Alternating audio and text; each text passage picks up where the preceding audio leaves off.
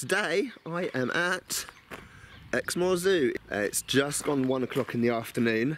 It is Friday the 13th of March, so it's pretty quiet because obviously all the kids are at school, which is why I came today instead of like, tomorrow. I imagine it'd be a lot busier. So the only thing I know about this place is what it says on its website. So um, I'm going to go in and see what it's all about. So here are some monkeys.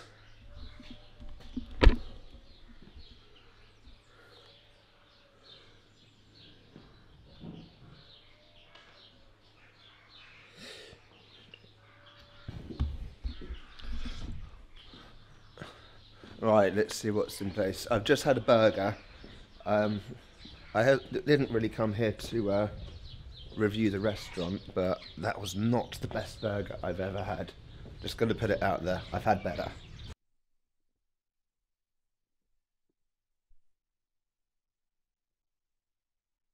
Right, so um, I'm trying to be exciting, but I've done many of these like zoos and animal parks on my channel. They're all pretty similar. Like, for example, here is a tawny owl enclosure. I mean, tawny owls like to fly. I actually have them near where I live. I hear them every night, but I've never seen them. And here's a pond with ducks. Yeah. Oh no, there's one.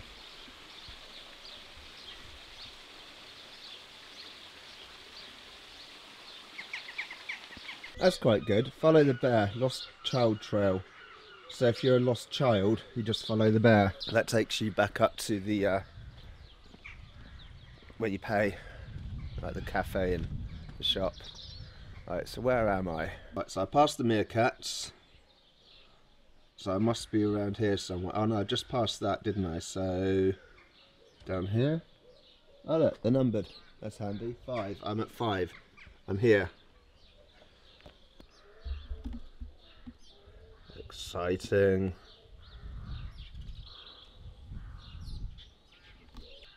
It's a lemur. This parrot was being really noisy a second ago, just so I came over here. And now, they shut up. More parrots.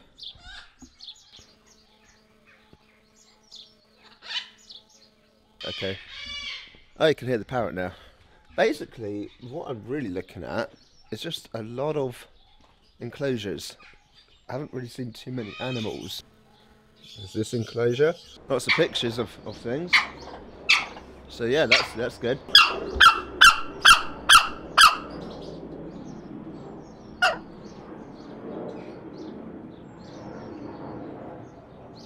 It's a kookaburra you can hear. A wonga pigeon. Okay. I was actually given a map when I came in. So this is number 22. So what is that number 22? Here's my little thing.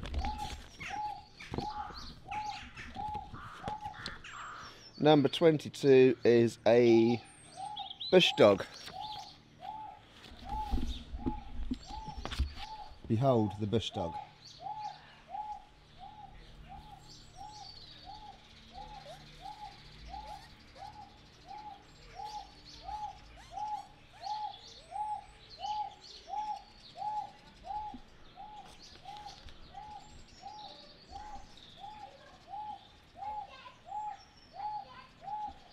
They've put a sign here saying zoo trail this way, which means I'm compelled to want to go that way. So it says go that, that way. And just because it's pointing that way, I, I feel the need to go this way.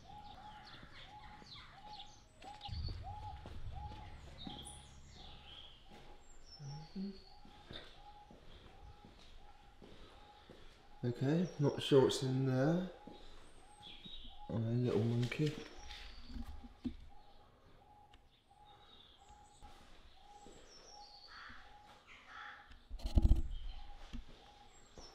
Bash the microphone on the glass there.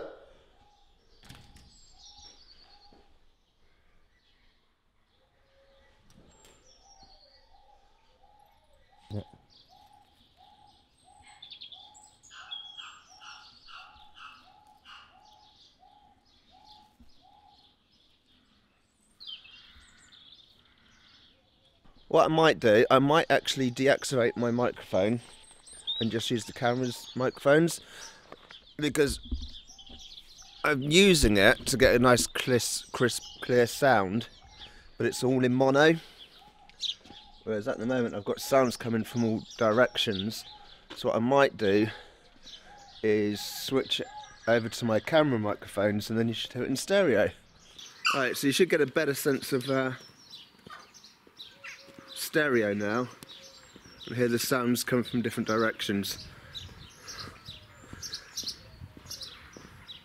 It's not that breezy, so I should be alright using this microphone. Okay, we're looking at these bush dogs again. We're at a different um, angle now.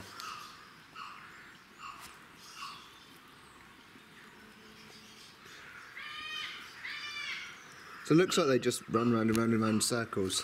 It's a sand cat. Hello, sand cat. Oh, okay. I thought it was going to come up and say hello to me. Looks like a regular cat. And here we have a, I don't know how to pronounce that, bin torog, bin torong? I don't no idea. Anyway, there it is.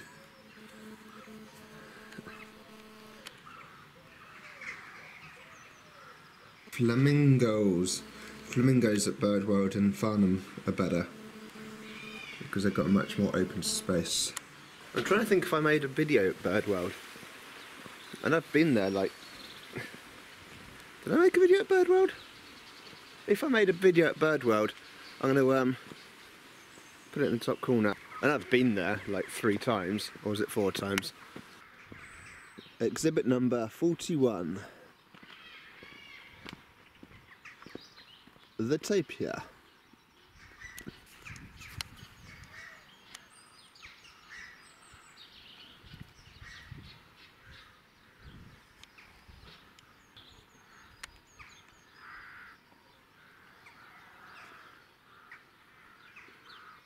Camera's focusing on the fence. So here's the great grey owl. It's in there somewhere, I guess. Right, here's a map. You are here, very helpfully saying that I'm by 27, which is here on the map. So this is where I just was, looking at the tapirs. Birds. Are these herons?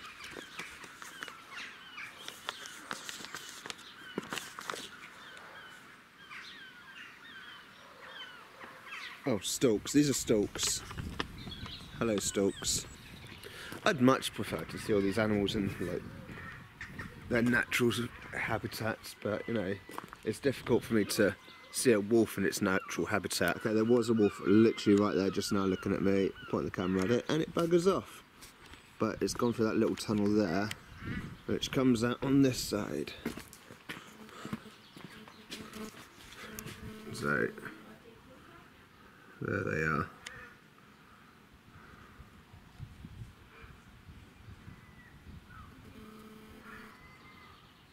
It's going to go under the tunnel, I think.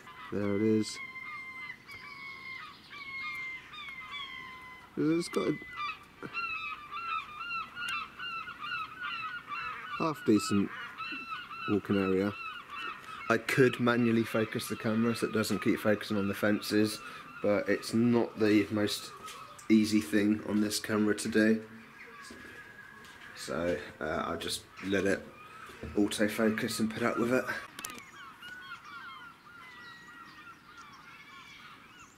Warning, electric fence. So these, these are a red-breasted goose and a glossy ibis.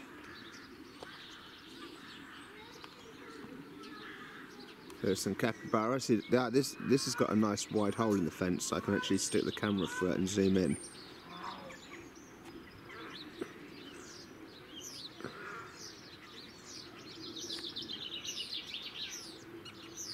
Hello.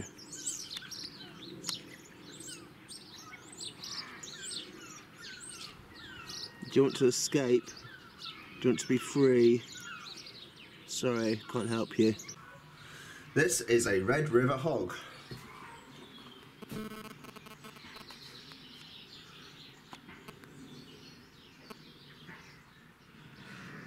Look at big ears.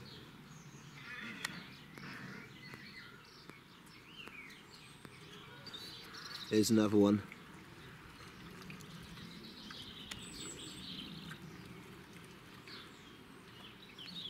This is quite good. They've got hand washing facilities just randomly here.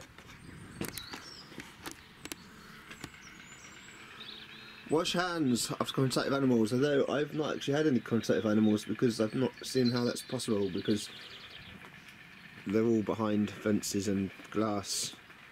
But it's here.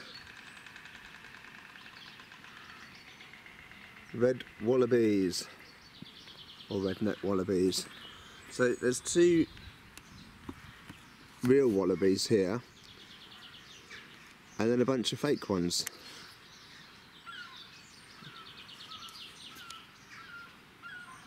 But here are the real ones. Last time I saw a cheetah in the zoo, I don't think I was filming it. I can't for life remember which zoo it was. And the cheetah just looks so unimpressed by everything. The cheetah feed and talk will be held at 1.30. I think I've missed out. What time is it? I think I must have been eating my burger then. Yeah, it's 2 o'clock now. So I was probably in the cafeteria having my disappointing cheeseburger. The bun was cold. I mean, it felt like it just come out of fridge cold. And the meat uh, was ridiculously thin. And what is my hair doing? Oh my god. Right, so I've just um, put some water through my hair from the hand washing station because I didn't know what it was doing. It was being out of control. Now, what was I saying? Oh yeah, last time I saw Cheetah, I wasn't impressed. This is a cleaning cupboard. I'm looking in a cleaning cupboard. There's no cheetahs there. I mean, this is where they have the talks, so there must be cheetahs. Remember, it just looks at me as if like, oh god, not another human watching me. Cheetahs.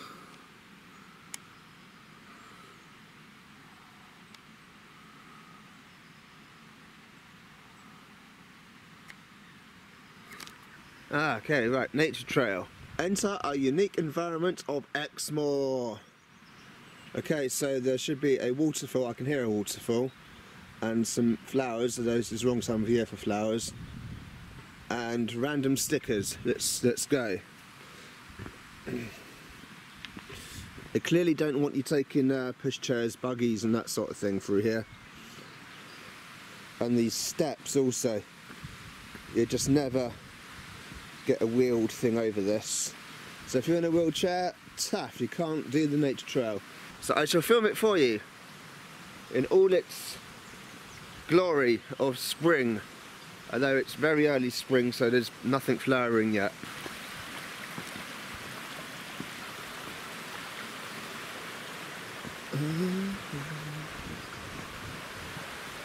Waterfall down there. There's a stream here as well, going down to the river.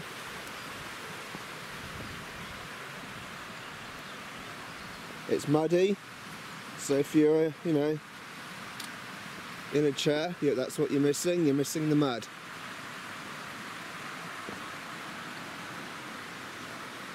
Fungus. It's totally the wrong time of year to see fungus. So um, yeah, we're just looking at some grass. This is actually quite steep. I can see why they put um, a block on like chairs and buggies and stuff at the top because you know people would try to get through here, get to about this point and be like, oh no, and then and then I, I, I know some people would be stupid enough to actually try and get something down here. It's quite steep. It's not going to work.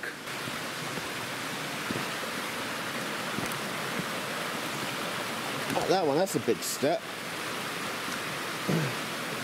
The steps are all uneven, like some of them quite big drops and then others are little drops. No consistency. So that, I probably that is not the zoo, that just looks like a field. That's, that's, that's somebody else's land over there. But, but the river,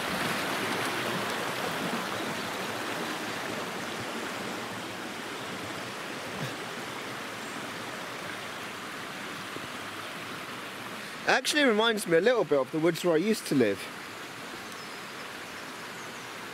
I don't know, I just get that vibe about it. It feels like um, I'm, I'm back, back in my old home, back in Surrey. I just get that feel about it. Particularly of these. These would grow everywhere. Haven't really seen many of them since moving this way. So this is what you can see. You can see uh, amphibians. I really am trying to act excited, but I can only get as excited as the stimulus I'm getting from the environment. So as you can see, yeah. I mean, don't get me wrong, I love wildlife. I mean, if this place was nearer to where I lived and it wasn't like in a zoo, it's just like, just public path somewhere, I'd probably come here all the time. Because it would be free and open. But um, to pay to come into here, not overly exciting. where's that waterfall? There was a photograph of a big waterfall when I entered this area. Where's the damn waterfall? Is this is this the one, the picture? I mean, that's tiny, but I suppose if you get the camera at, at the right angle, you could make it look much bigger. That's probably what they've done. And then, uh, and then the path goes up. And we see these animals. Where are they? There's one.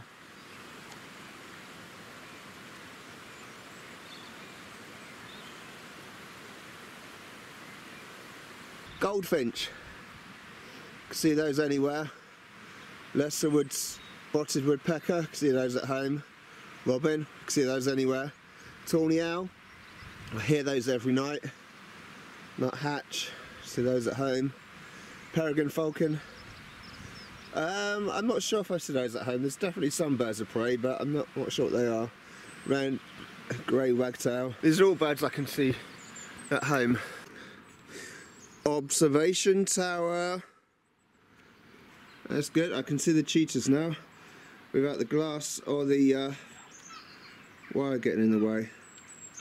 And here is the cheetah just chilling.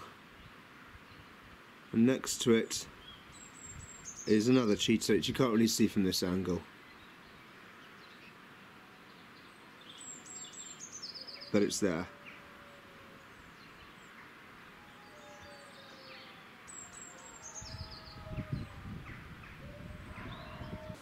The Mara, guinea pig-like rodent.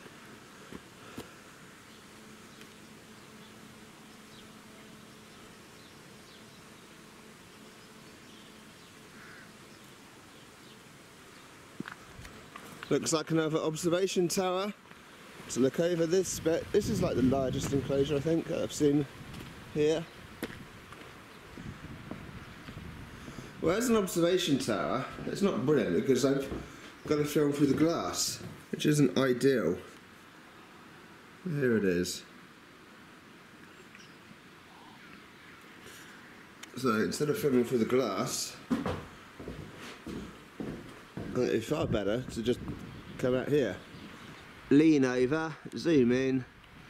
There you go, I can see it un uninterrupted now.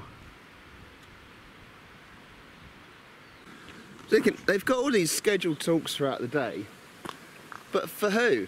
There's, there's no one here. I don't know, I mean there were a couple of people I saw in the restaurant and I did see one family wandering around. I don't know where they've gone. I guess a lot of the talks aren't actually happening. It'd be like really sucky, you get all prepared to do a talk, you go along and then there's like no one there. Suppose you just give up and go. There's no point talking to no one. I suppose you could have an audience of one.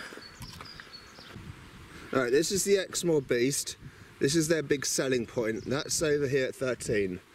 Right, where am I? I'm here at like between 29 and 30B. which is here. So I want to go. Which way do I want to go? I have made it to number 13, which is that, which is the Exmoor Beast. And there it is. I can point the camera at it. Hmm. Okay. It's like that's all you're getting. It's saying, I'll let you look at me for one second. You had all that time to get the camera on me.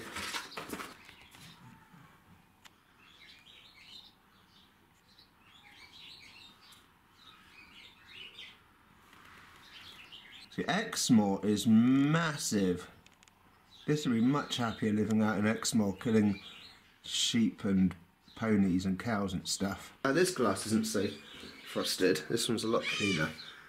I can't see it. I have to wait for it to come back around.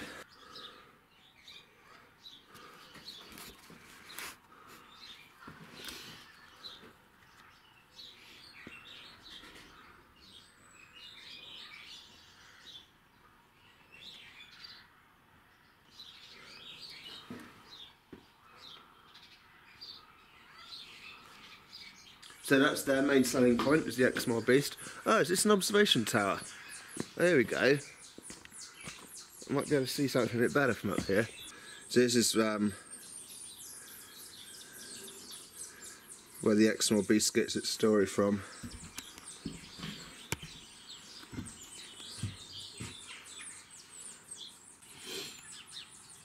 It's, it's buggered off. I've been standing up for it here for a while it walked past but I didn't have the camera ready and, and now it's, it's gone. I just visualising like it's it's a busy Saturday in August. You got a small child comes up here. He's only as high as this railing, going, I can't see, I can't see. Oh, there we go.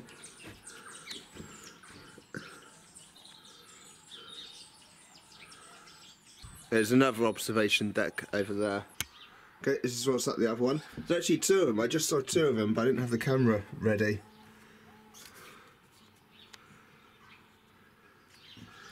They got together and I heard a, a rumble, a growl. There's that one. The other one's gone off that way.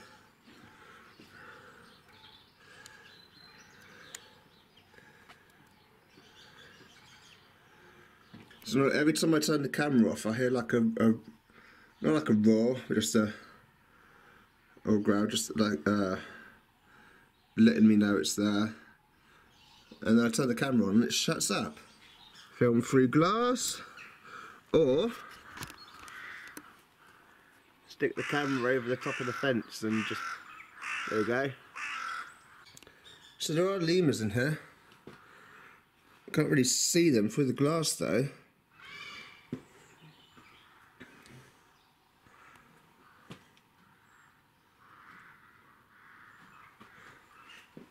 Go picnic right here bit random spot. It's under shelter. There's a bin to put your rubbish in. So if it rains, you can come in here. I'm sure this will look nice if it's actually flowering and doesn't look like a skeleton tree. And then you'll be surrounded by the lemurs, so the family can eat while the kids desperately try to look through the glass to see if there's actually anything in here. I should have bought my polarizing filter to try and get rid of some of this reflection. Oh yeah, I've got a polarizing filter I could put on my camera now. I've had it a while, but haven't really used it in any of my videos. It works quite well. Should have bought it.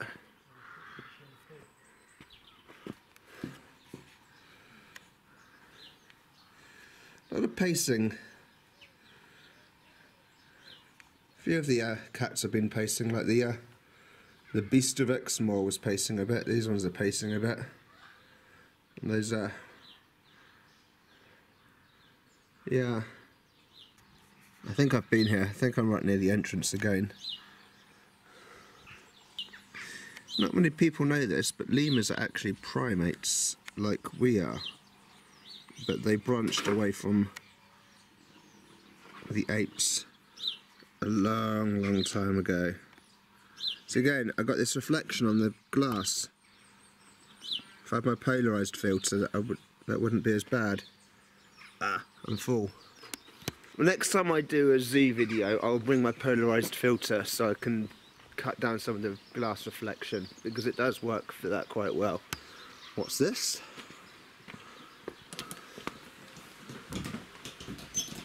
That's just like really random. Okay.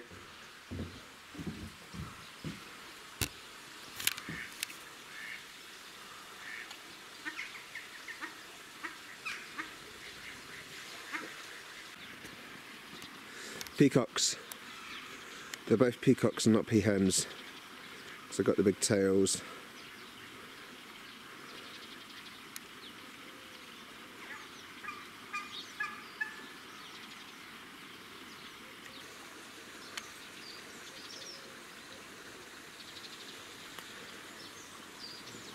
There's a giant frog here. If this was a real frog, that would be terrifying. But it's not a real frog. It's a bit like Monkey World, where they got the uh, the bits that go across the path from one enclosure to another. I put a link to my All Alone at Monkey World video in the top corner. It's got a baby.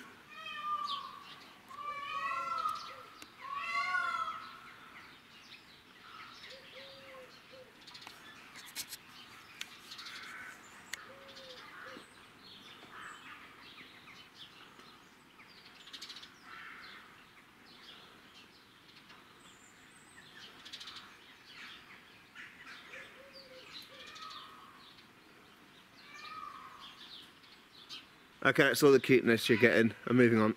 Encounter zone, snack shack, playfield, covered picnic area. That's that way. Just in case your kids get bored of looking at enclosures where they can't see the animals or the animals aren't doing anything, there's a giant playground so they can have fun there. Reindeer! They're like way, way, way in the distance. They got this fence and there's another fence between this fence and that fence.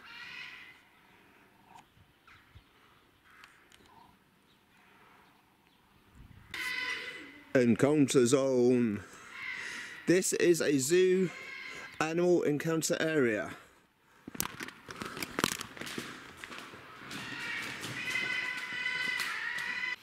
I just looked at the timetable. It looks like there was a talk 15 minutes ago.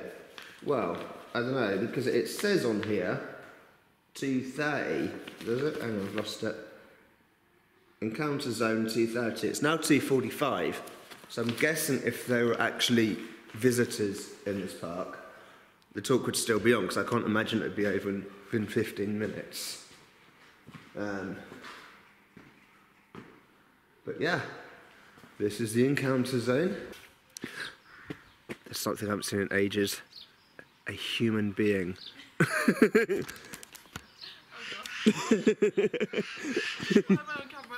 it's quite a nice little area, picnic area. I'm going to explore the picnic area.